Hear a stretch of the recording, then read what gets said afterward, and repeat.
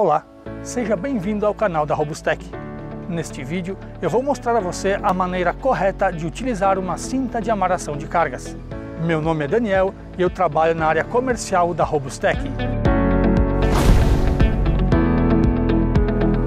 Temos aqui um conjunto de amarração de 3 toneladas, que é composto por dois ganchos, uma cinta e uma catraca.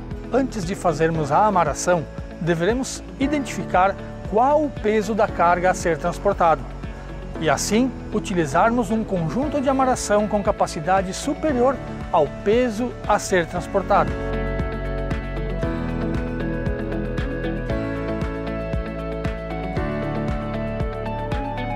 O primeiro passo para a amarração é fixar o gancho em um ponto de ancoragem.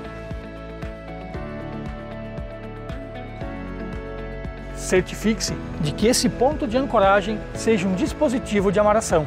Após isso, vamos passar a cinta sobre a carga a ser amarrada. Em casos de cargas a serem transportadas possuírem cantos vivos, utilize protetor de canto.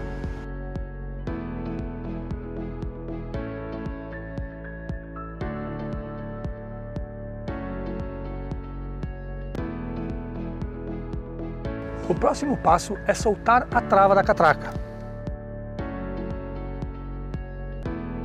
Após isso, vamos passar a ponta da cinta pelo caretel.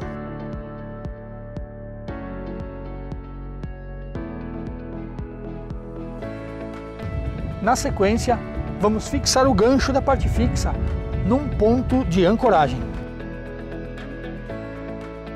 Em seguida, iremos fazer um pré-tensionamento da cinta. Na sequência, efetue o tensionamento da cinta utilizando a catraca.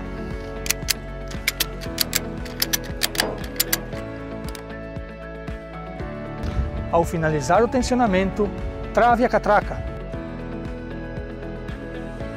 Durante a sua viagem, efetue o reaperto da carga para garantir um transporte mais seguro.